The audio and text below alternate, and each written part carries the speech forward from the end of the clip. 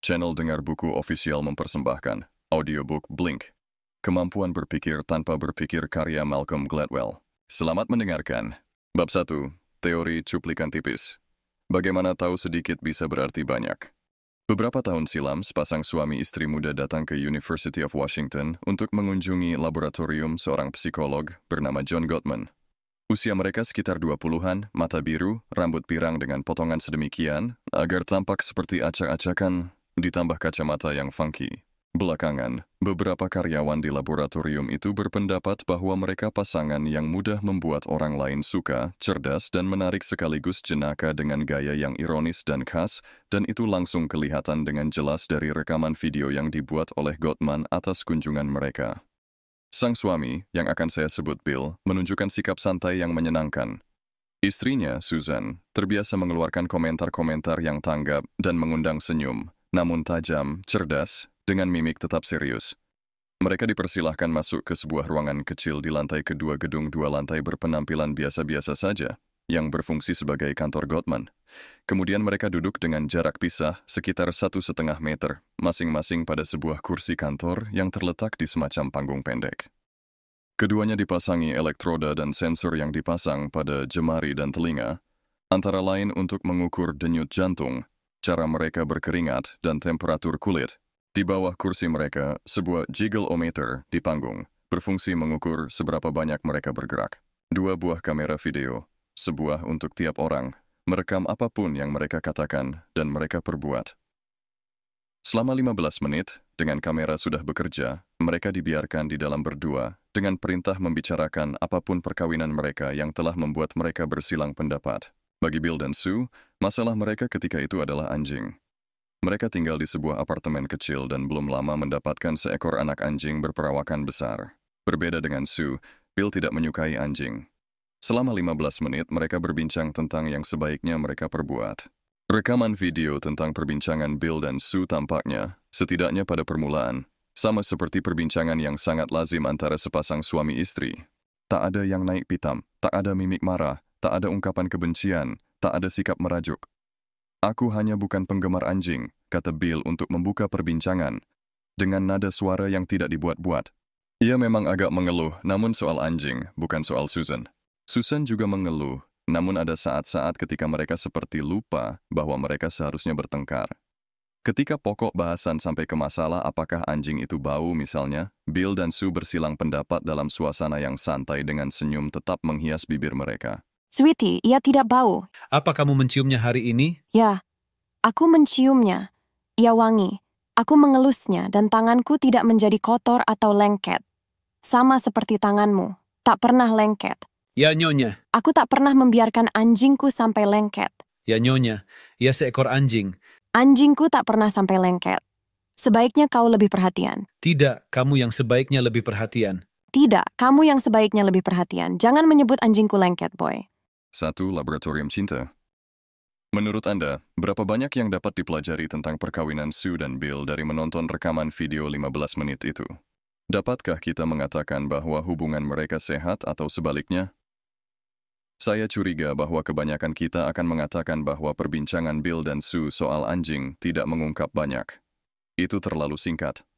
Perkawinan melibatkan banyak hal lain yang lebih penting, misalnya uang, seks, anak-anak, pekerjaan, dan mertua, dengan kombinasi-kombinasi yang terus berubah. Kadang-kadang suami istri bisa merasakan kebersamaan yang sangat membahagiakan. Kadang-kadang mereka bertengkar.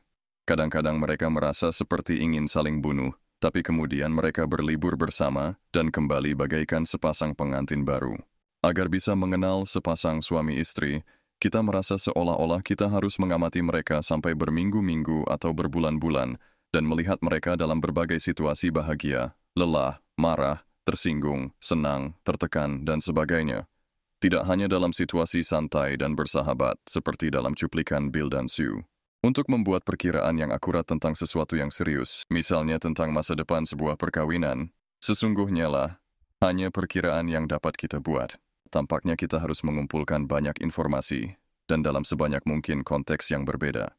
Akan tetapi, John Gottman telah membuktikan bahwa kita tidak harus mengerjakan semua tadi. Sejak tahun 1980-an, Gottman telah mengundang lebih dari 3.000 pasangan suami istri seperti Bill dan Sue ke ruangan kecil itu di laboratorium cintanya dekat kampus University of Washington. Ia telah merekam tiap pasangan itu, dan hasilnya telah dianalisis berdasarkan sesuatu yang oleh Gottman disebut SPAF, kependekan dari Specific Effect, sebuah sistem kode yang memiliki 20 kategori terpisah yang terkait dengan setiap emosi yang bisa muncul selama percakapan di antara sepasang suami istri. Rasa jijik atau disgust, misalnya, diberi nilai 1. Sikap merendahkan atau contempt, diberi nilai 2. Marah atau angry, 7. Defensif 10. Kesal sampai berteriak atau whining 11. Sedih 12. Tidak menjawab atau asal menjawab atau stonewalling, 13. Netral 14, dan sebagainya.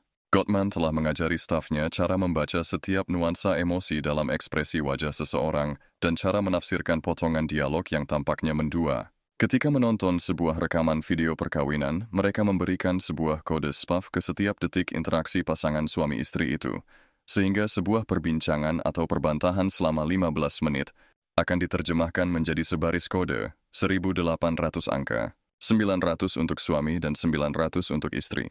Notasi 7, 7, 14, 10, 11, 11 misalnya, mengandung arti bahwa dalam rentang 6 detik, salah satu anggota marah sesaat, kemudian netral, diikuti sikap defensif, dan setelah itu mulai kesal sampai berteriak. Selanjutnya, data dari elektroda dan sensor difaktorisasi, sehingga para pembuat kode, misalnya, tahu kapan jantung seorang suami atau seorang istri berdegup kencang, kapan suhu tubuhnya naik, atau kapan ia tiba-tiba tidak bisa duduk diam, dan semua informasi itu dimasukkan ke dalam sebuah persamaan yang kompleks. Berdasarkan kalkulasi tersebut, Gottman berhasil membuktikan sesuatu yang menarik. Jika ia menganalisis perbincangan sepasang suami istri selama satu jam, ia dapat memperkirakan dengan kecermatan 95% apakah pasangan itu akan masih tetap suami istri 15 tahun kemudian. Apabila ia mengamati pasangan yang sama selama 15 menit, tingkat keberhasilannya sekitar 90 persen. Belum lama ini, seorang guru besar yang menjadi mitra kerja Gottman adalah Sibyl Carrere. Ia bereksperimen dengan beberapa rekaman video, mencoba merancang sebuah studi baru, dan belakangan menemukan bahwa, andai kata mereka memperhatikan tiga menit saja dari tiap perbincangan, mereka masih bisa membuat perkiraan dengan kecermatan cukup mengesankan tentang pasangan mana akan bercerai dan pasangan mana akan bertahan. Kebenaran sebuah perkawinan dapat dipahami dalam waktu jauh lebih singkat daripada yang pernah dibayangkan orang. John Gottman adalah seorang pria usia paruh baya dengan sepasang mata, mirip mata burung hantu, rambut keperakan, dan janggut terpelihara rapi. Perawakannya pendek tapi tampan, dan ketika sedang bicara tentang sesuatu yang membuatnya bersemangat, padahal hampir selalu begitu, matanya bercahaya dan melebar. Selama Perang Vietnam, karena suara hatinya ia menolak masuk wajib militer, dan sampai sekarang masih ada gaya hippie yang tersisa dalam penampilannya. Misalnya topi Mao yang kadang-kadang dipakainya bersama Yarmulke, yang berhias rumbai-rumbai. Ia seorang psikolog, tetapi ia juga belajar matematika di MAIT, dan ketelitian serta kecermatan matematika menimbulkan rangsangan tersendiri baginya. Ketika saya berjumpa dengan Gottman, ia baru saja menerbitkan bukunya yang paling ambisius, sebuah karya apik dan padat setebal 500 halaman bertajuk The Mathematics of Divorce. Dan kepada saya pun ia mencoba menerangkan pandangan-pandangannya sambil mencoretkan persamaan-persamaan dan grafik-grafik kasar di atas serbet kertas, sampai kepala saya mulai pening. Sepintas lalu, Gottman mungkin tampak bukan contoh yang muncul dari bawah sadar. Tak ada yang naluriah sama sekali dalam pendekatannya. Ia tidak membuat kesimpulan sekejap atau snap judgment, ia duduk di depan komputernya dan dengan rajin menganalisis rekaman video, detik demi detik. Karyanya merupakan contoh klasik tentang modus berpikir sadar dan disengaja. Akan tetapi, Gottman ternyata dapat mengajari kita banyak hal tentang bagian-bagian sangat penting dan proses pemahaman cepat atau rapid cognition yang dikenal sebagai cuplikan tipis atau sayatan tipis atau thin slicing Thin slicing merujuk ke kemampuan bawah sadar kita untuk menemukan pola-pola dalam situasi-situasi dan perilaku berdasarkan cuplikan pengalaman yang sangat singkat. Ketika Evelyn Harrison pertama kali melihat Kouros dan tiba-tiba berkomentar, Wah, sayang sekali. Ia mengambil sebuah cuplikan tipis. Begitu pula para penjudi Iowa ketika menurut kepada reaksi stres mereka terhadap tumpukan kartu merah setelah 10 kali pengambilan kartu. Cuplikan tipis atau thin slicing merupakan salah satu yang menjadikan bawah sadar begitu mengesankan. Namun, ini pula yang paling membuat kita sulit mencerna fenomena pemahaman cepat atau rapid cognition. Bagaimana mungkin kita bisa menghimpun informasi yang diperlukan untuk sebuah penilaian atau pengambilan keputusan yang rumit dalam waktu sesingkat itu? Jawabnya adalah bahwa ketika bawah sadar kita mengambil sayatan atau cuplikan tipis, yang kita perbuat adalah sebuah versi bawah sadar yang otomatis dan cepat dari eksperimen Gottman dengan rekaman video dan persamaan matematikanya. Sungguhkah sebuah perkawinan bisa dipahami melalui sebuah pengamatan sekilas? Jawabnya adalah betul. Begitu pula kebanyakan situasi lain yang kelihatan sangat rumit. Penelitian Gottman sekaligus memberikan gambaran tentang cara kerja pemahaman cepat. 2. Perkawinan dan kode Morse. Saya menyaksikan rekaman video Bill dan Sue bersama Amber Tabares, seorang mahasiswa pasca sarjana di laboratorium Gottman yang telah terlatih dalam menuliskan kode SPAF. Kami duduk dalam ruangan yang sama yang telah digunakan oleh Bill dan Sue, mengamati interaksi mereka pada sebuah monitor. Percakapan dimulai oleh Bill. Ia menyukai anjing mereka yang lama, katanya. Ia hanya tidak menyukai anjing baru mereka.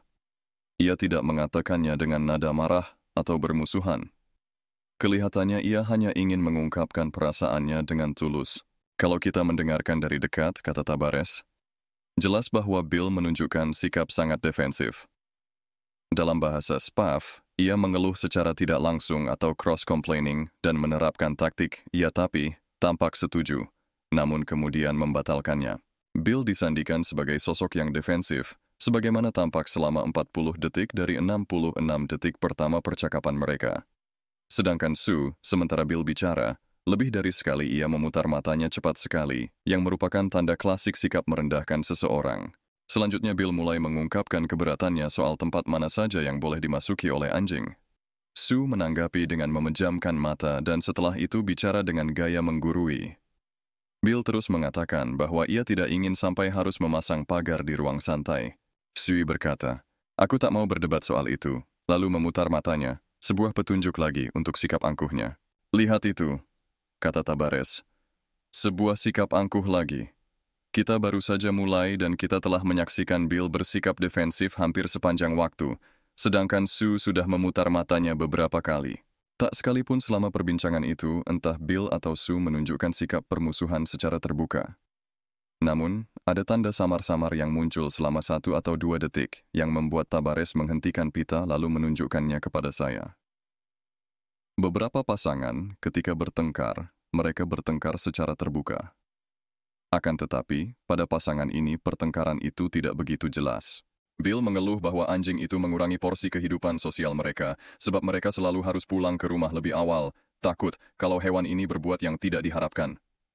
Su menanggapi dengan pernyataan bahwa itu tidak benar, yakni dengan jawaban, kalau ia berniat merusak sesuatu, ia akan merusaknya dalam 15 menit pertama sejak keberangkatan kita.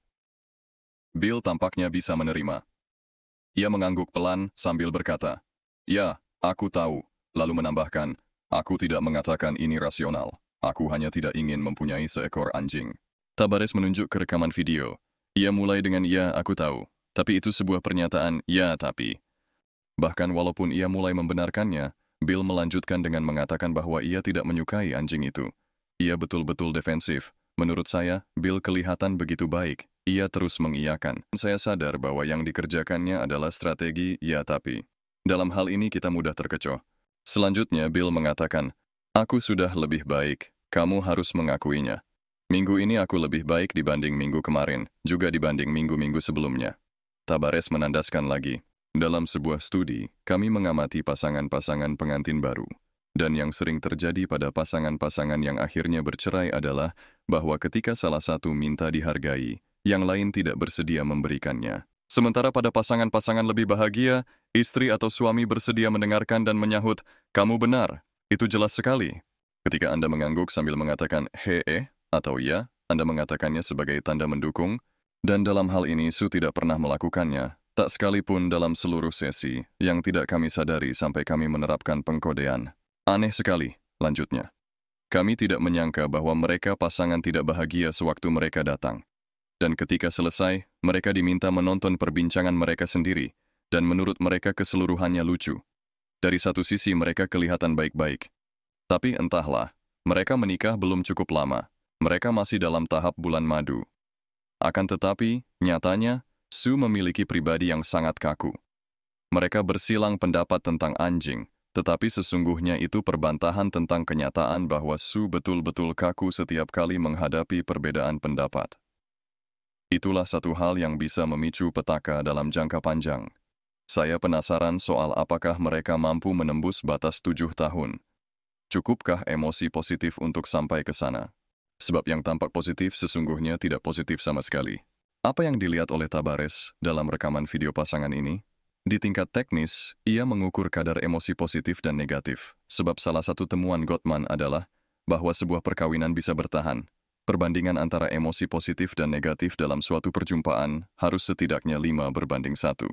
Kendati pun demikian, di tingkat lebih sederhana, yang dicari oleh Tabares dalam perbincangan singkat itu adalah pola dalam perkawinan Bill dan Sue, sebab pokok pikiran utama dalam karya Gottman adalah bahwa semua perkawinan mempunyai sebuah pola khas, semacam DNA perkawinan yang muncul ke permukaan dalam suatu interaksi yang cukup lama. Ini sebabnya Gottman meminta tiap pasangan bercerita tentang bagaimana mereka saling kenal, sebab ia telah menemukan bahwa apabila sepasang suami istri mengingat masa paling penting dalam hubungan mereka, pola itu akan langsung muncul. Mudah sekali mengatakannya, kata Gottman. Saya baru saja mengamati rekaman ini kemarin. Sang wanita mengatakan, kami bertemu di tempat bermain ski. Ia sedang bersama gengnya. Saya suka kepadanya lalu kami sepakat untuk berkencan. Tapi, belakangan ia langsung tidur sementara saya menungguinya sampai tiga jam. Akhirnya saya membangunkannya dan mengatakan bahwa saya tidak suka diperlakukan begitu. Kamu betul-betul bukan orang baik. Maka ia menjawab, ya, eh, tadi aku mabuk ya. Ada pola yang tidak beres dalam interaksi pertama mereka, dan yang menyedihkan pola itu terus ada selama hubungan mereka. Tidak sesulit itu, lanjut Gottman. Ketika saya pertama kali mulai dengan wawancara seperti ini, saya mengira kebetulan saja mereka sedang dalam kondisi terburuk. Namun, tingkat prediksi begitu tinggi dan kalau kita melakukannya lagi, kita akan memperoleh pola yang berulang-ulang. Satu cara untuk memahami yang dikatakan oleh Gottman tentang perkawinan adalah menggunakan analogi dengan yang oleh ahli Morse disebut FIS.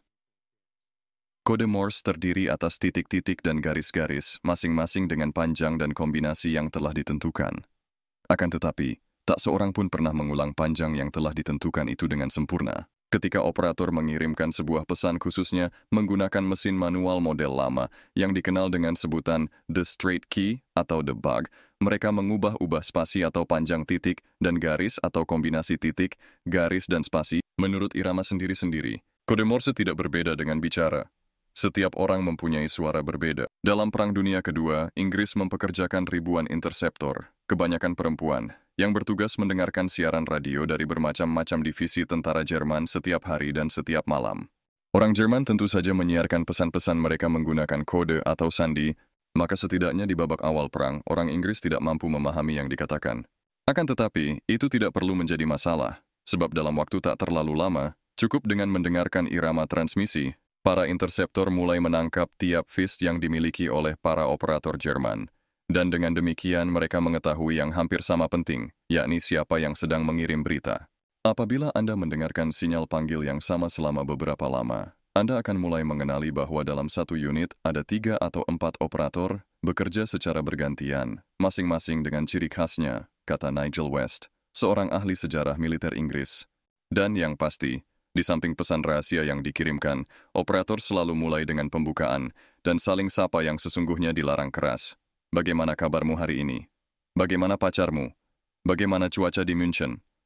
Jadi, Anda tinggal mengisi sebuah kartu, menuliskan semua informasi yang tersedia, dan dalam waktu tidak lama Anda bisa mempunyai semacam hubungan dengan orang itu. Para interseptor menghadirkan laporan berupa uraian tentang corak dan gaya operator yang mereka ikuti. Mereka membuatkan nama untuk tiap operator dan menyusun sebuah daftar berisi ciri-ciri kepribadian yang bersangkutan. Sesudah mengidentifikasi pengirim pesan, interseptor berusaha menetapkan lokasi sinyal. Berarti mereka mendapatkan yang lain lagi. Mereka tahu siapa ada di mana. West melanjutkan, para interseptor memiliki kemampuan yang bagus dalam membaca karakteristik transmisi operator radio Jerman sampai betul-betul mampu melacak keberadaan mereka di Eropa, di mana pun. Itu mempunyai nilai yang berharga sekali dalam upaya menguasai situasi medan perang, karena sekaligus dapat mengetahui unit militer mana yang sedang dihadapi termasuk posisi mereka. Jika seorang operator radio sedang bersama kesatuannya yang tertentu suatu saat mengirim isyarat dari Florence, sedangkan tiga pekan kemudian kita mengenali operator yang sama, namun kali ini ia sedang di Linz, berarti kita dapat membayangkan bahwa kesatuan yang sama telah bergerak dari bagian utara Italia ke front timur, kita juga bisa mengetahui bahwa seorang operator tertentu termasuk dalam regu reparasi tank, juga bahwa ia selalu mengudara setiap hari pada pukul 12 siang. Namun kini sehabis pertempuran besar-besaran, ia mengudara pada pukul 12 siang, pukul 4 sore, dan pukul 7 malam. Sehingga kita dapat menebak bahwa kesatuan itu sedang sibuk sekali. Dan dalam sebuah situasi krisis, ketika seorang atasan bertanya, Dapatkah kamu memastikan bahwa Fliegerkorps Luftwaffe ini atau skuadron Angkatan Udara Jerman sedang berada di luar Tobruk dan tidak sedang di Italia? Kita dapat menjawab, ya, operatornya adalah Oscar, kami yakin sekali. Yang terpenting mengenai FIST adalah bahwa mereka muncul secara alami. Operator radio tidak dengan sengaja berusaha tampil beda. Mereka tampil beda dengan sendirinya, sebab ada bagian dalam kepribadian mereka yang memunculkan diri secara otomatis dan di luar kesadaran sewaktu mereka sedang memancarkan pesan Morse rahasia. Hal lain mengenai Fist adalah bahwa ia terungkap dengan sendirinya bahkan dalam cuplikan kode Morse paling kecil. Kita hanya perlu mendengarkan beberapa huruf untuk menemukan pola seorang operator. Pola itu tidak berubah atau hilang karena mulur atau muncul hanya dalam kata atau frase tertentu. Itu sebabnya para interseptor Inggris cukup mendengarkan beberapa saat, kemudian mengatakan dengan pasti sekali, itu Oscar, yang sekaligus berarti ya, kesatuannya pasti sedang berada di luar Tobruk. Fist seorang operator tidak berubah-ubah. Yang dimaksudkan oleh Gottman adalah bahwa hubungan antara dua orang juga mempunyai sebuah fis, semacam tanda tangan yang muncul secara alami dan otomatis. Itu sebabnya sebuah perkawinan dapat dibaca dan diuraikan begitu mudah.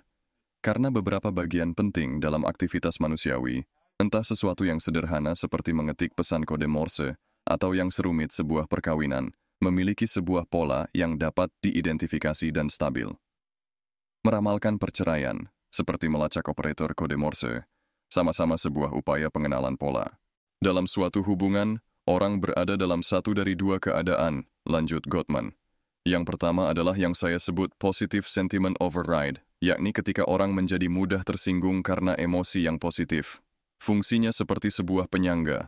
Ketika pasangan mereka berbuat sesuatu yang tidak baik, mereka akan mengatakan, Oh, suasana hatinya kebetulan sedang tidak baik. Atau mereka bisa dalam keadaan negatif sentiment override, sehingga bahkan sesuatu yang netral dalam perkataan atau perbuatan pasangan akan cenderung dianggap negatif. Dalam keadaan negatif sentiment override, orang mengambil kesimpulan yang sulit diubah tentang pasangan mereka. Jika pasangan mereka berbuat positif, ia hanya orang egois yang sedang berbuat positif untuk mengangkat nama sendiri. Sulit sekali mengubah keadaan tersebut, dan keadaan ini menentukan apakah bila salah satu pihak mencoba memperbaiki situasi, pihak lain memandangnya sebagai sebuah upaya perbaikan atau sebuah sikap permusuhan. Sebagai contoh, saya sedang berbincang dengan istri saya, lalu ia mengatakan, Bisakah kamu tutup mulut sampai aku selesai bicara? Dalam keadaan positif sentiment override, saya mengatakan, oke, okay, lanjutkan.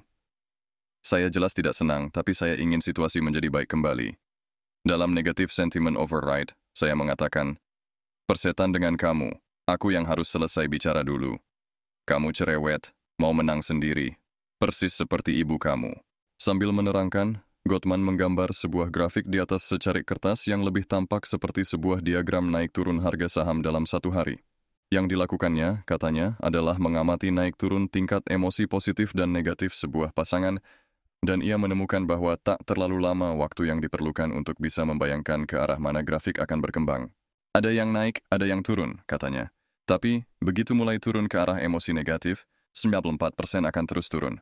Mereka memulai sebuah situasi buruk dan tidak mempunyai kemampuan untuk memperbaikinya. Saya tidak menganggapnya hanya sebuah cuplikan. Ini sebuah indikasi tentang bagaimana mereka memandang hubungan mereka secara keseluruhan. Tiga, peran sikap merendahkan.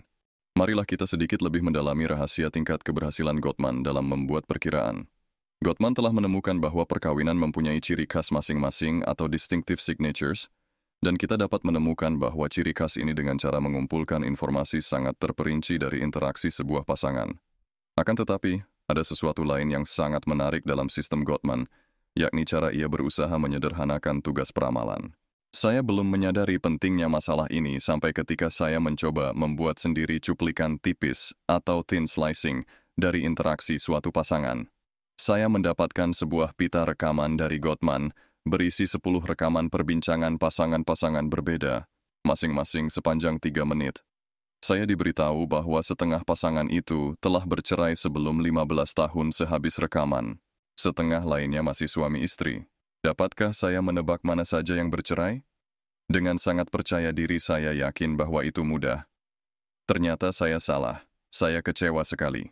Saya hanya menjawab benar untuk lima pasangan, yang sama artinya dengan taruhan menggunakan lemparan mata uang logam. Kesulitan saya muncul dari kenyataan bahwa rekaman video itu sendiri betul-betul membingungkan. Sang suami bicara secara sangat hati-hati. Sang istri menjawab pelan sekali. Sekilas ada emosi yang naik ke permukaan seperti tampak pada wajahnya. Sang suami mulai mengatakan sesuatu, kemudian berhenti. Sang istri marah, namun suaminya malahan tertawa. Ada yang bergumam, ada yang mengernyitkan dahi. Saya terpaksa memundurkan pita dan memeriksanya sekali lagi, baru saya mendapatkan informasi lagi. Saya melihat sedikit senyum ditahan, atau perubahan nada bicara yang samar sekali. Sungguh tidak mudah. Dalam kepala saya, sambil berusaha menenangkan diri, dengan susah payah saya mencoba menentukan rasio emosi positif terhadap emosi negatif. Tapi mana yang dianggap positif dan mana yang dianggap negatif? Saya tahu dari Susan dan Bill bahwa sebagian besar yang tampak positif sesungguhnya negatif. Dan saya juga tahu bahwa setidaknya ada 20 keadaan emosi yang diukur dalam bagan SPAF. Pernahkah Anda mencoba mengikuti 20 emosi berbeda secara serentak? Sekarang, kebetulan, saya bukan seorang penasihat masalah perkawinan. Akan tetapi rekaman yang sama itu telah diberikan kepada hampir 200 pakar terapi perkawinan, peneliti masalah perkawinan, rohaniwan, dan mahasiswa pasca sarjana dalam psikologi klinik, juga kepada para pengantin baru, orang-orang baru bercerai, dan pasangan yang menikah bahagia sampai lama, atau dengan kata lain, masih ada hampir 200 orang lain yang lebih tahu tentang perkawinan ketimbang saya, dan tak seorang pun di antara mereka lebih baik daripada saya. Mereka secara rata-rata mampu menebak dengan benar sebanyak 53,8 persen, yang hanya sedikit di atas setengahnya. Begitu banyak hal lain yang terjadi begitu cepat dalam rekaman tiga menit itu, sehingga kami tidak sanggup menemukan pola. Ternyata, Gottman tidak mengalami masalah ini. Ia begitu terampil dalam pengamatan cuplikan perkawinan, sampai berani mengatakan ia bisa datang ke sebuah restoran, mencuri dengar perbincangan pasangan di meja terdekat, kemudian membuat kesimpulan apakah mereka perlu mulai memikirkan kemungkinan menyewa pengacara dan membagi hak mengasuh anak-anak mereka. Bagaimana caranya? Ia menerangkan bahwa ia tidak merasa perlu menaruh perhatian kepada semuanya.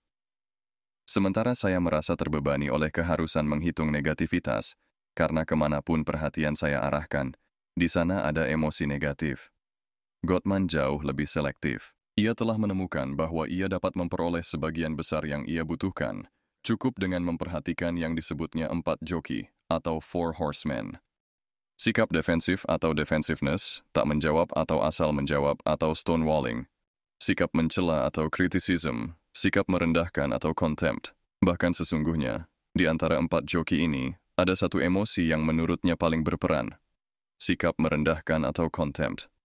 Apabila Gottman melihat salah satu atau kedua pasangan dalam suatu perkawinan menunjukkan sikap merendahkan atau jijik kepada yang lain, baginya itu cukup untuk mengatakan bahwa perkawinan mereka bermasalah. Anda mungkin mengira mencela atau mengkritik paling buruk, kata Gottman, sebab di mana-mana mencela dipandang sebagai perbuatan sangat tidak disukai. Namun, memandang rendah secara kualitatif berbeda dari mencela. Dengan mencela, saya mungkin mengatakan kepada istri saya, kamu tidak pernah mendengarkan, kamu betul-betul egois dan tidak peka. Sesungguhnya lah, ia akan menanggapi dengan sikap bertahan. Itu tidak baik untuk sebuah upaya penelusuran dan pemecahan masalah. Akan tetapi, kalau saya berbicara dari posisi superior, itu jauh lebih merusak, dan ungkapan merendahkan biasanya berasal dari kalangan lebih tinggi. Umumnya sikap ini hadir dalam wujud pelecehan.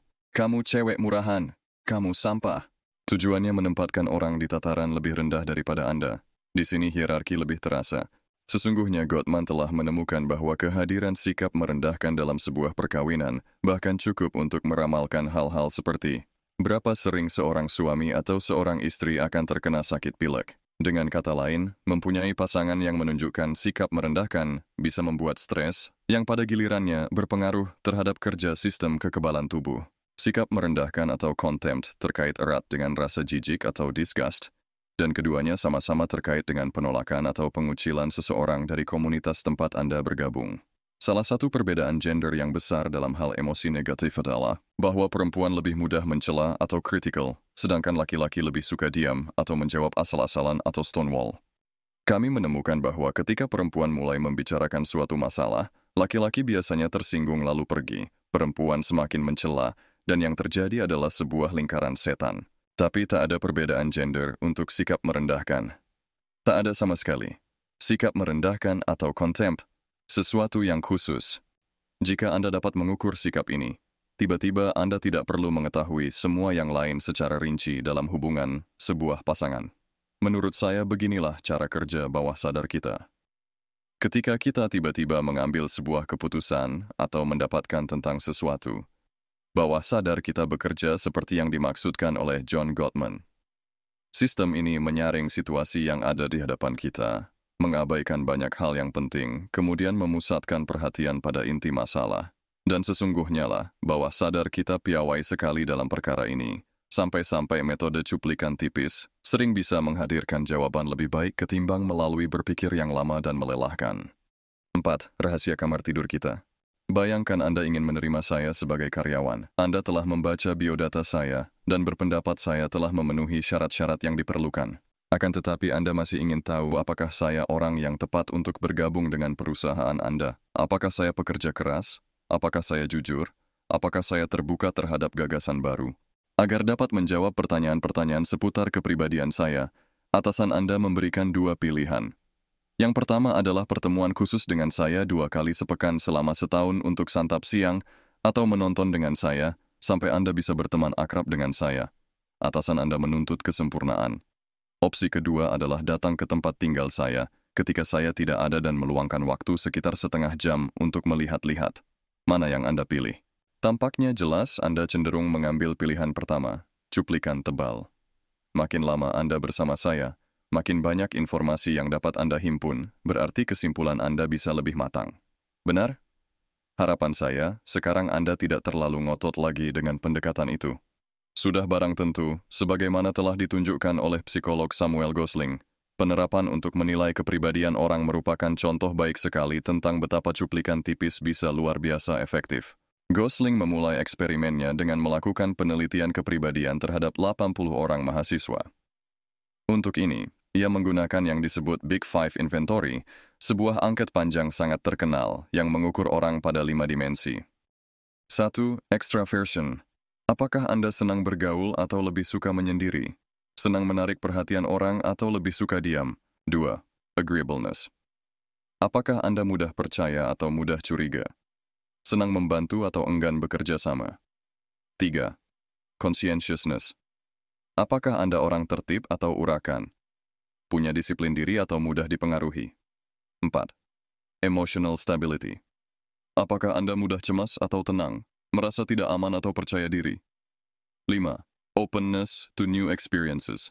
Apakah Anda imajinatif atau praktis, mandiri atau terikat peraturan? Selanjutnya, Gosling meminta teman dekat ke-80 mahasiswa itu mengisi angket yang sama. Ketika teman-teman menilai kita berdasarkan metode di atas, Gosling ingin tahu seberapa dekat mereka dengan kebenaran. Jawabnya, yang tidak mengejutkan, adalah bahwa teman-teman kita dapat bercerita tentang kita secara cukup akurat. Mereka mempunyai cuplikan tebal dalam pengalaman bersama kita, dan itu diterjemahkan dalam wujud pemahaman yang sesungguhnya tentang kita. Selanjutnya Gosling mengulang proses itu, namun kali ini ia tidak memanfaatkan teman dekat. Ia menggunakan orang yang betul-betul asing, yang belum pernah bertemu sama sekali dengan mahasiswa-mahasiswa itu. Yang mereka periksa adalah kamar asrama para mahasiswa. Gosling memberi masing-masing sebuah clipboard, kemudian menyuruh mereka melihat-lihat kamar seorang mahasiswa selama 15 menit, dan menjawab sejumlah pertanyaan sangat mendasar tentang penghuni kamar itu. Pada skala 1 sampai 5, apakah penghuni kamar ini tampaknya tipe orang yang senang bicara? Cenderung menyalahkan orang? Bekerja dengan tekun? Mempunyai buah pikiran asli? Sulit mengungkapkan perasaan atau pandangan? Senang membantu dan tidak mementingkan diri sendiri? Dan sebagainya. Saya berusaha mempelajari kesan sehari-hari, kata Gosling.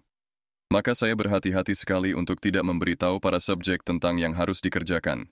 Saya hanya mengatakan, ini sebuah angket.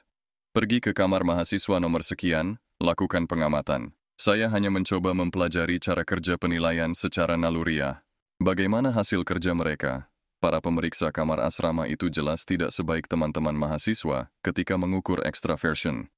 Jika Anda ingin tahu apakah seseorang senang bercerita dan luwes dalam bergaul, jelas Anda harus bertemu dengannya secara pribadi.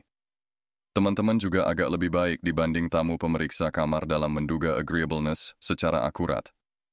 Apakah seseorang senang membantu dan mudah mempercayai orang? Menurut saya itu masuk akal. Akan tetapi untuk tiga poin berikutnya dalam The Big Five, orang asing yang membawa clipboard lebih unggul. Mereka lebih akurat dalam mengukur conscientiousness dan mereka jauh lebih akurat dalam memprediksi baik emotional stability atau kemantapan emosi maupun openness to new experiences atau keterbukaan terhadap pengalaman baru. Maka, kalau ditimbang-timbang, orang-orang asing itu terhitung memberikan hasil lebih baik.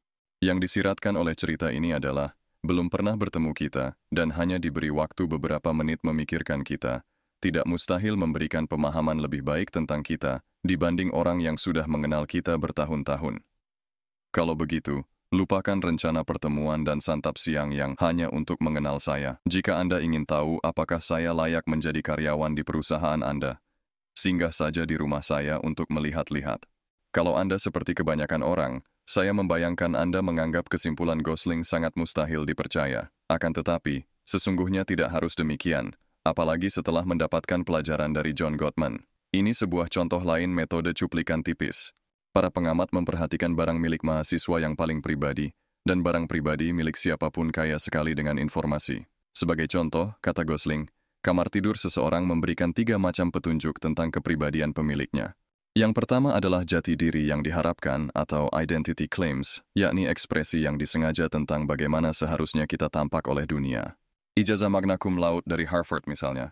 Selanjutnya adalah ciri dasar perilaku atau behavioral residue, yang didefinisikan sebagai petunjuk tak disengaja tentang sifat asli seseorang. Cucian kotor di lantai, misalnya, atau koleksi CD yang tertata rapi.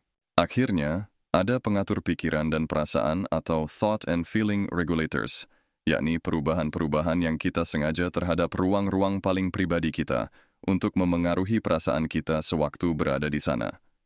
Lilin pengharum di sudut kamar, misalnya, atau setumpuk bantal dekorasi tersusun rapi di tempat tidur. Jika Anda melihat CD tertata rapi, ijazah Harvard di dinding, pengharum ruangan di meja samping, dan cucian tersimpan rapi di keranjang, Anda langsung mengetahui aspek-aspek tertentu kepribadian pemiliknya dengan cara yang tidak mungkin Anda peroleh melalui sekian kali santap siang atau menonton bersama. Siapa pun yang pernah melihat-lihat rak buku seorang teman baru atau mengintip ke dalam lemari obatnya, pasti memahami yang tersirat dalam hal ini, bahwa Anda bisa mempelajari sama banyak atau lebih banyak dibanding pemeriksaan sekilas ke suatu ruang pribadi, dibanding pengamatan berjam-jam di tempat-tempat umum. Kendati pun demikian, yang sama pentingnya adalah informasi yang tidak Anda peroleh ketika Anda memeriksa milik pribadi seseorang. Yang Anda hindari ketika Anda tidak berhadapan langsung dengan seseorang adalah semua potongan informasi yang membingungkan, rumit, dan akhirnya tidak terkait, yang justru dapat mengacaukan penilaian Anda. Kebanyakan kita sulit percaya bila seorang pemain sepak bola bertubuh tinggi kekar bisa mempunyai otak sangat encer. Sulit bagi kita untuk melepaskan diri dari pandangan umum bahwa orang bertubuh gempal biasanya dungu. Akan tetapi jika yang kita lihat dari orang yang sama adalah rak buku atau karya seninya di dinding, kita tidak akan mendapatkan masalah tersebut. Yang dikatakan orang tentang diri sendiri juga bisa sangat rancu, karena alasan sederhana bahwa kebanyakan kita tidak begitu objektif tentang diri sendiri. Itu sebabnya, ketika kita mengukur kepribadian, kita tidak bertanya langsung tentang orang seperti apakah mereka dalam pikiran mereka. Kita memberi mereka sebuah angket seperti The Big Five Inventory yang dirancang dengan cermat untuk menggali reaksi-reaksi sewaktu berbicara. Itu pula sebabnya Gottman tidak menyia-nyiakan waktu dengan menanyai langsung pasangan suami istri soal kehidupan perkawinan mereka. Mereka mungkin berbohong, entah karena malu atau sebab lain, tapi yang lebih penting, mereka mungkin tidak tahu tentang yang sesungguhnya. Mereka mungkin sedang dalam kegalauan yang sangat mendalam, atau sedang mabuk oleh sukacita yang melambung, sehingga mereka tidak mempunyai perspektif soal hidup mereka sendiri. Banyak pasangan yang memang tidak sadar tentang keadaan mereka, kata Sibyl Carrere. Kami meminta mereka berbincang, yang kami rekam, kemudian kami putar ulang di hadapan mereka.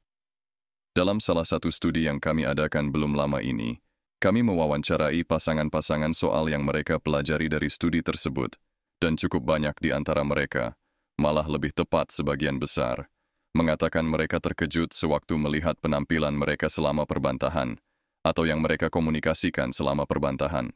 Ada seorang wanita yang menurut dugaan kami sangat emosional, namun mengatakan bahwa ia tak menyangka sama sekali bahwa ia begitu. Dalam benaknya ia adalah orang yang tahan menderita dan tidak mengumbar perasaan. Kebanyakan orang seperti itu.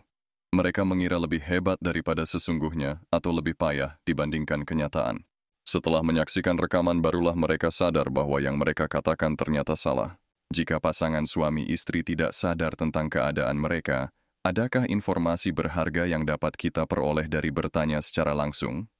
Tidak banyak, dan ini sebabnya Gottman meminta tiap pasangan berbincang tentang sesuatu yang terkait dengan perkawinan mereka. Misalnya soal hewan peliharaan, bukan langsung tentang perkawinan mereka. Ia justru mencermati ukuran-ukuran tak langsung ketika pasangan itu berinteraksi. Tanda-tanda samar emosi yang muncul sekilas di wajah seseorang. Tanda stres yang muncul di kelenjar-kelenjar keringat pada telapak tangan. Lonjakan denyut jantung, perubahan nada suara yang samar-samar selama perdebatan.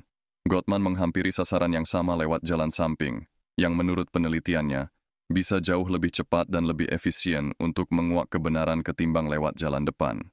Yang diperbuat oleh para pengamat kamar asrama pada hakikatnya adalah versi sederhana analisis John Gottman. Mereka mencari vis pada mahasiswa-mahasiswa itu. Mereka meluangkan waktu 15 menit untuk menghirup apa pun di situ, sampai mendapatkan bisikan tentang orang yang dimaksud.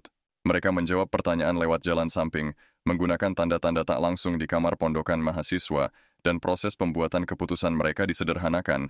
Mereka tidak teralihkan oleh semua informasi yang membingungkan dan tidak relevan seperti yang diperoleh ketika berhadapan langsung. Yang mereka amati adalah cuplikan tipis. Lalu apa yang terjadi? Sama seperti yang didapatkan oleh Gottman. Orang-orang yang membawa clipboard itu betul-betul baik dalam pembuatan prediksi. 5. Mendengarkan dokter yang sedang praktik.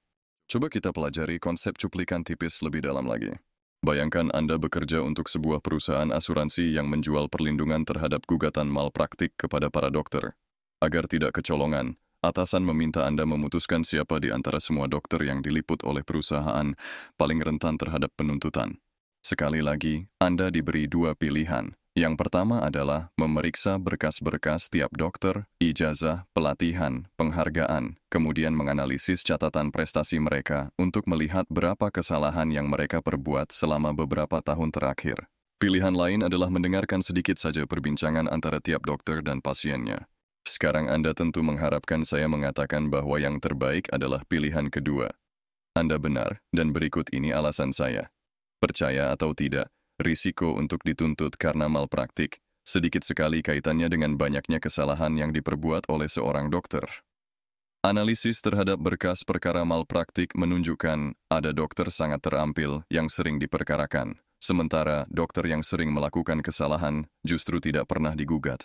Bersamaan dengan itu, pasien yang menderita akibat kelalaian seorang dokter, makin banyak yang tidak pernah mengajukan gugatan kasus malpraktik sama sekali. Dengan kata lain, Pasien tidak mengajukan gugatan malpraktik karena mereka telah dirugikan oleh pelayanan medik yang buruk. Pasien memerkarakan dokter karena mereka dirugikan oleh pelayanan medis buruk dan sesuatu yang lain. Apakah sesuatu yang lain itu? Ternyata itu adalah cara mereka dilayani oleh sang dokter di tingkat pribadi. Yang berulang kali muncul dalam kasus gugatan malpraktik adalah pasien mengatakan bahwa dokter mereka seperti hanya mengejar uang, tidak memberikan perhatian yang cukup, atau tidak perlakukan mereka dengan baik. Orang cenderung tidak menuntut dokter yang mereka sukai, kata Alice Burkin, seorang pengacara terkemuka dalam kasus malpraktik kedokteran. Selama sekian tahun dalam bisnis ini, saya tidak pernah didatangi seseorang yang mengatakan, "Saya suka sekali dokter ini," dan saya merasa berat melakukannya, tapi saya terpaksa menuntutnya. Tapi yang berikut ini sungguh terjadi, yakni orang datang mengatakan ingin menggugat seorang spesialis. Dalam hal ini kami mengatakan, menurut kami bukan dokter itu yang ceroboh. Dokter umum yang pertama kali memeriksa Andalah yang salah. Dan klien ini akan berkata, saya tidak peduli kalaupun ia salah.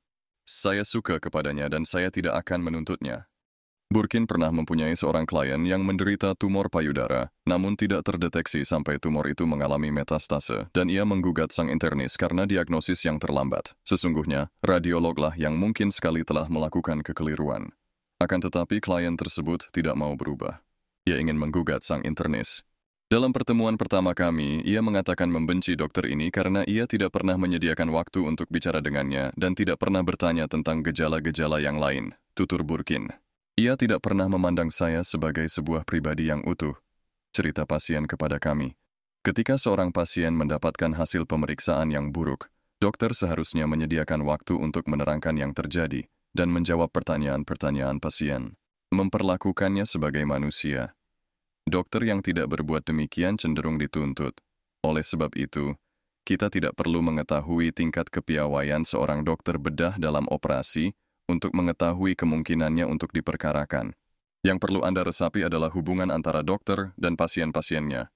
Belum lama ini, peneliti bidang kedokteran Wendy Levinson merekam ratusan percakapan antara sekelompok dokter dan pasien-pasien mereka. Kira-kira separuh di antara dokter-dokter di situ tidak pernah diperkarakan.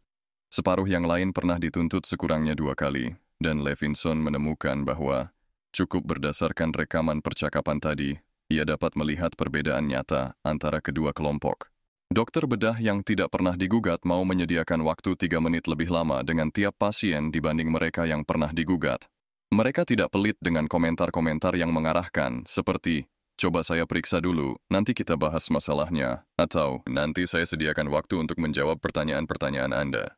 Komentar-komentar seperti ini membuat pasien merasa bahwa tujuan mereka ke dokter untuk berobat dan memperoleh informasi tidak sia-sia.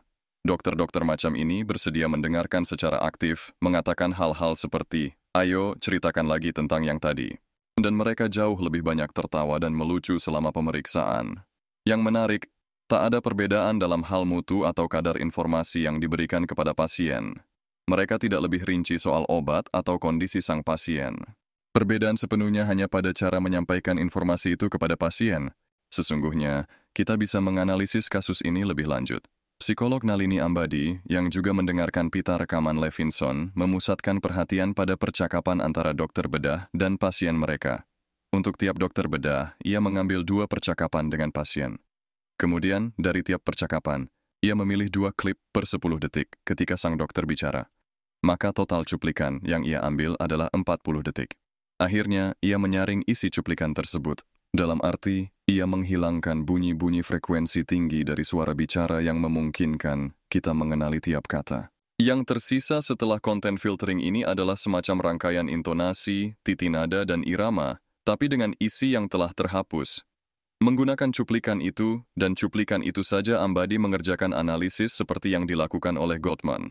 Ia meminta sekelompok juri menilai suara dalam cuplikan itu untuk hal-hal seperti kehangatan, sikap permusuhan, sikap sok kuasa, dan kecemasan, lalu menemukan bahwa menggunakan nilai-nilai tersebut, ia mampu memperkirakan dokter bedah mana akan diperkarakan dan mana yang tidak. Ambadi bercerita bahwa ia dan mitra-mitra kerjanya sangat terpesona melihat hasilnya dan tidak sulit untuk memahami mengapa demikian. Para penilai itu tidak tahu sedikit pun tentang tingkat keterampilan para dokter bedah, mereka tidak mengetahui tingkat pengalaman mereka, pelatihan apa saja yang telah diikuti, atau macam prosedur yang biasa mereka jalani. Mereka bahkan tidak tahu apa yang dikatakan oleh seorang dokter kepada pasiennya. Yang mereka gunakan untuk prediksi mereka adalah analisis mereka terhadap nada bicara dokter bedah. Sesungguhnya lah, yang dikerjakan bahkan lebih mendasar daripada itu.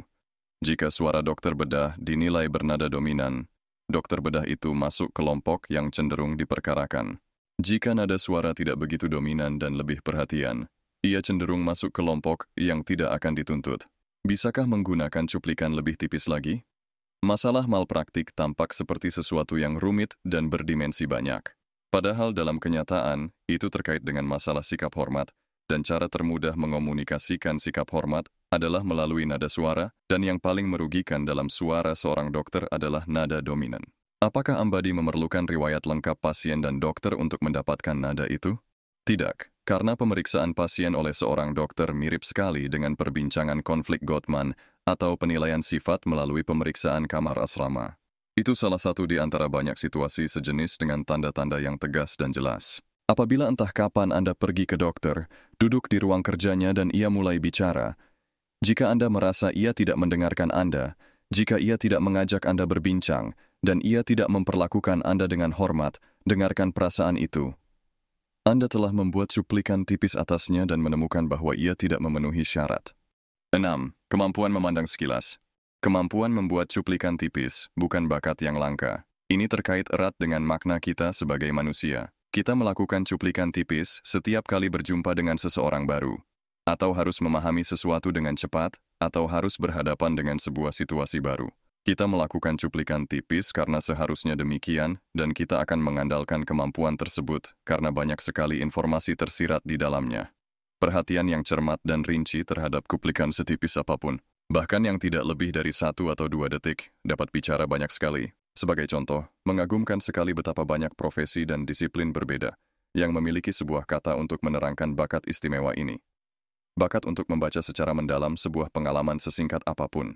Dalam permainan basket, pemain yang mampu menyelami dan menghayati kejadian di sekitarnya disebut memiliki court of sense. Dalam dunia militer, Jenderal-jenderal cemerlang disebut memiliki kudoi, istilah Prancis yang kalau diterjemahkan berarti power of glance, kemampuan melihat dan menghayati medan tempur dengan cepat. Napoleon memilikinya, begitu pula Patton. Pakar burung David Sibley bercerita bahwa di Cape May, New Jersey, ia pernah melihat seekor burung sedang terbang dari kejauhan hampir 200 meter, dan langsung tahu bahwa itu seekor burung sangat langka. Padahal ia belum pernah menyaksikan burung langka itu dalam keadaan terbang. Ia juga tidak mempunyai waktu cukup lama untuk melakukan identifikasi secara cermat. Akan tetapi ia mampu merasakan sesuatu yang oleh para pakar burung disebut gis, artinya intisari dan itu sudah cukup. Pengenalan burung kebanyakan didasarkan pada semacam kesan subjektif cara burung bergerak, dan tampilan-tampilan sesaatnya yang singkat dari sudut-sudut berbeda, serta dari rangkaian tampilan berbeda, dan sewaktu burung itu menoleh terbang dan berbalik arah, Anda bisa menyaksikan rangkaian bentuk dan sudut berbeda, kata Sibley. Semua tadi bergabung membentuk sebuah kesan unik seekor burung yang sesungguhnya lah tak bisa diuraikan dan diceritakan dengan kata-kata. Jika Anda turun ke lapangan dan mengarahkan pandangan Anda ke seekor burung, Anda tidak punya waktu untuk menganalisisnya lalu mengatakan ia begini, begini, dan begini. Maka burung itu termasuk spesies anu. Kejadiannya lebih alami dan naluria. Sesudah banyak berlatih, begitu melihat seekor burung, itu memicu sebuah sakelar kecil dalam otak Anda. Rasanya betul, Anda mengenalinya dalam sekejap. Produser Hollywood Brian Grazer, yang telah membuat banyak film yang sukses besar selama 20 tahun terakhir, menggunakan bahasa yang hampir persis sama untuk bercerita tentang pertemuan pertamanya dengan aktor Tom Hanks. Waktu itu tahun 1983. Hanks masih sosok yang belum dikenal. Yang pernah dibintanginya hanya sebuah acara televisi berjudul Bosom Buddies yang sudah dilupakan orang. Ia datang lalu membaca dialog untuk film Splash, dan tepat saat itu juga saya langsung tahu yang saya lihat, kata Grazer. Dalam seketika ia tahu bahwa Hanks istimewa. Kami sudah menguji ratusan orang untuk peran itu dan orang lain lebih kocak daripada dia. Akan tetapi tak ada yang lebih mudah disukai seperti dia. Saya merasa seolah-olah saya dapat hidup dalam dirinya. Saya merasa seolah-olah masalahnya adalah masalah yang dapat saya selami. Anda tahu, agar bisa membuat seseorang tertawa, Anda harus menarik. Agar bisa menarik, Anda harus berbuat hal-hal yang kejam. Komedi berasal dari kemarahan, dan sifat menarik berasal dari marah. Tanpa itu tak ada konflik. Akan tetapi ia mampu berbuat kejam dan Anda memaafkannya, dan Anda harus bisa memaafkan seseorang. Karena pada akhirnya, anda masih harus bersamanya, bahkan setelah ia membuang gadis itu atau mengambil pilihan yang tidak sesuai dengan keinginan Anda. Pada waktu itu, semua ini tidak terpikirkan dengan kata-kata. Itu sebuah kesimpulan naluriah yang baru belakangan bisa saya susun kembali. Saya berani menebak bahwa banyak di antara Anda mempunyai kesan yang sama tentang Tom Hanks. Jika saya menanyakan seperti apakah dia, Anda akan menjawab bahwa ia orang yang santun dan dapat dipercaya serta praktis dan jenaka. Padahal Anda tidak mengenalnya. Anda tidak berteman dengannya. Anda hanya melihatnya dalam film dengan peran yang sangat beragam. Kendati pun demikian, Anda telah berusaha menyarikan semua tadi menjadi sesuatu yang sangat bermakna tentangnya melalui semacam cuplikan tipis, dan kesan itu mempunyai pengaruh kuat terhadap cara Anda menikmati film-film Tom Hanks. Setiap orang mengatakan tidak bisa membayangkan Tom Hanks sebagai seorang astronot, cerita Grazer tentang keputusannya memasang Hanks dalam film sukses Apollo 13. Hmm, ketika itu saya tidak tahu apakah Tom Hanks cocok untuk memerankan seorang astronot, namun saya memandang ini sebagai sebuah film tentang wahana angkasa yang sedang dalam bahaya, dan siapakah yang paling diingin pulang seluruh dunia dengan selamat? Siapakah yang paling ingin diselamatkan oleh pemirsa Amerika? Tom Hanks. Kita tidak ingin menyaksikan ia mati. Kita terlalu menyukainya. Andai kata kita tidak mempunyai kemampuan membuat cuplikan tipis, jika Anda harus mengenal seseorang sampai berbulan-bulan agar bisa menghayatinya, Apollo 13 akan kehilangan unsur dramanya dan Splash tidak akan lucu. Dan andai kata kita tidak mampu menghayati situasi-situasi rumit dalam sekejap, permainan basket akan kacau, pengamat burung akan tak berdaya. Belum lama ini, sekelompok psikolog meneliti lagi uji prediksi perceraian yang menurut saya dahsyat sekali. Mereka meminjam sejumlah rekaman video Gottman dan menunjukkan rekaman-rekaman itu kepada kalangan bukan pakar. Hanya kali ini, mereka memberi sedikit bantuan. Mereka menyediakan semacam daftar emosi yang harus dicari. Mereka memecah-mecah rekaman menjadi potongan-potongan sepanjang 30 detik dan memperbolehkan seorang pemeriksa menyaksikan tiap potongan dua kali. Pertama, untuk memusatkan perhatian pada suami, dan kedua, pada sang istri. Lalu apa yang terjadi? Kali ini para pemeriksa mampu menebak pasangan mana yang akan sukses dalam perkawinan dengan ketelitian lebih bagus dari 80%.